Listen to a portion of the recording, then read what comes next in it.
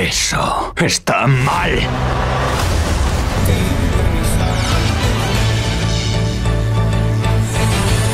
Noticias RCN con Jessica de la Peña, Joana Amaya y Yamil Palacio. Hola, buenas tardes, bienvenidos a Noticias RCN, líder en noticias, líder en opinión. Atención, que hace unos minutos fue capturado el falso fiscal del caso Pedro Aguilar. El hombre identificado como José Edilberto Parada Barbosa se presentó en audiencia y avaló la libertad del líder camionero vinculado al cartel de la chatarrización. La abogada de Aguilar también fue capturada. Esta mañana el coordinador de jueces del complejo judicial de Palo Quemado explicó por qué pudo ocurrir este insólito error. La abogada penalista Diana Sara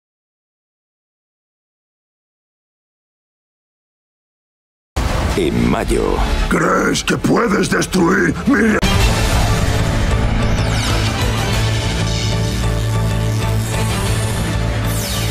Noticias RCN con Diana Mina y Juan Eduardo Jaramillo. 6 de la mañana, 3 minutos. Gracias por continuar con nosotros, por madrugar con nosotros. Se conocieron videos de los momentos previos al accidente de tránsito en el que murieron tres jóvenes en la autopista norte de Bogotá. Las imágenes revelan la alegría del grupo luego de la ceremonia de grado de Irlanda Meléndez y el paso del mismo vehículo, posiblemente metros antes del impacto que les costó la vida.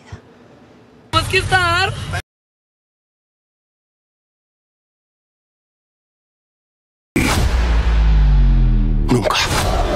El reino del planeta de los simios.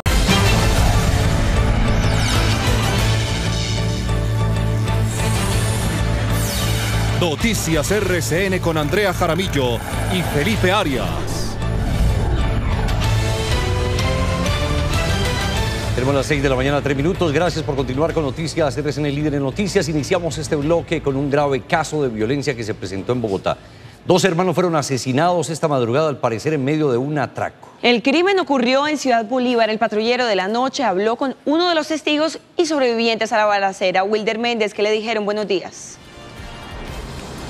Andrea Televidentes, muy buenos días. Como usted lo dijo, hablamos con un...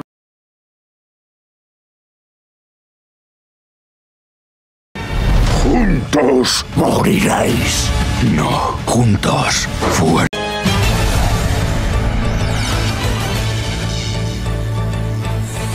Noticias RCN con Joana Amaya, Felipe Arias y Jessica de la Peña.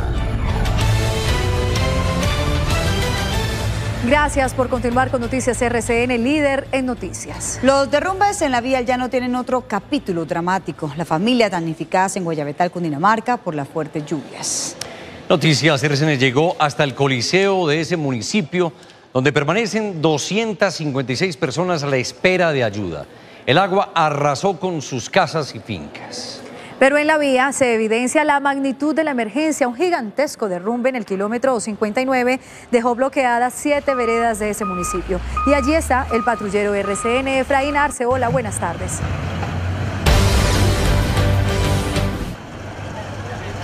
¿Qué tal? El reino del planeta de los simios, ya en cine.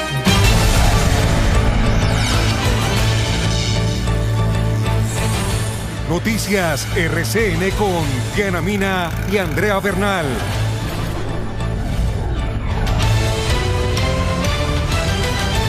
Bienvenidos a Noticias RCN. Estas son horas cruciales para la vida de Lucía, la niña de 13 años que necesitaba una completa operación en el corazón. Hoy, ocho días después del traslado desde Medellín, asumido por la EPS Comeva, Lucía completa 12 horas en el quirófano para poder seguir soñando. En RCN contigo, la solución. Vamos a Bucaramanga, Rocío.